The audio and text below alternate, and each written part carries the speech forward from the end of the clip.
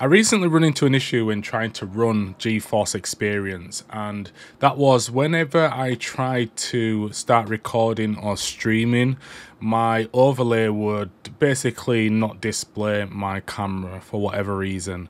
So I had a quick look online to see whether I could uh, find a solution to the issue, and of the solutions or potential solutions that I did see, they didn't work. I come across one solution that basically said turn off the overlay and then turn it back on after you reopen the GeForce experience and that did not work so I tried to play around with a few settings myself and actually found uh, what at least worked for me as a solution so this is what this video is about today I'm going to show you hopefully uh, what worked for me will work for you as well if you are experiencing the same issue in that your camera is not showing when you do start recording or streaming in the GeForce experience.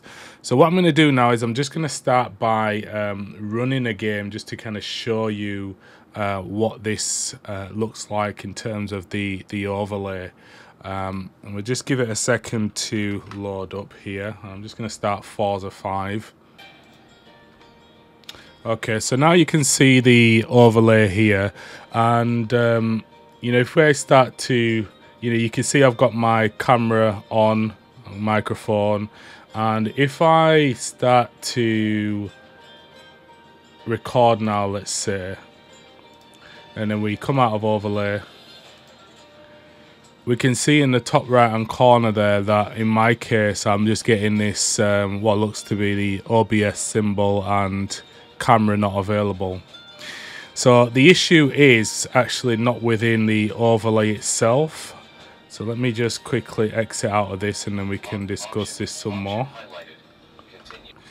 Okay, so in order to fix that, what we need to do is we actually need to open, you should have actually on, if you are using this, you should have NVIDIA Broadcast um, so you need to find that and open that. And when you do open that, you can see here you've got microphone, speakers and camera under beta. And you can see what it's done here is it's using these settings from NVIDIA Broadcast.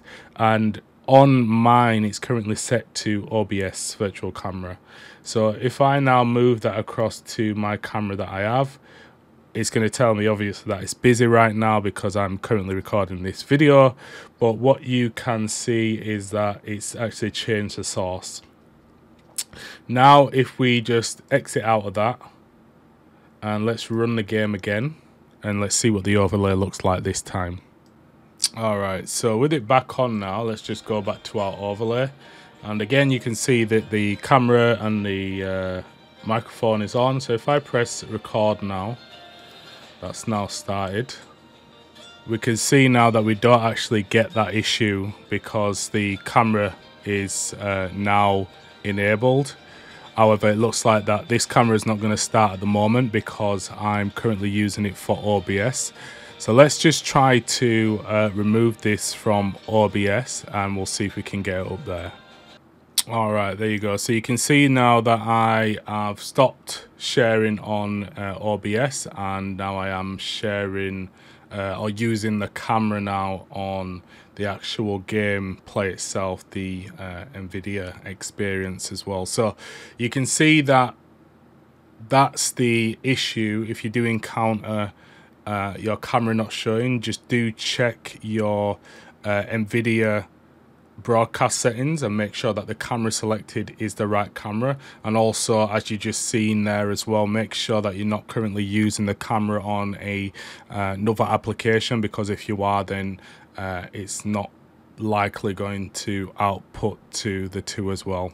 So I hope that video helps. I hope you found it useful. Do please let me know in the comment section if this has worked for you and give it a like if it has also worked for you.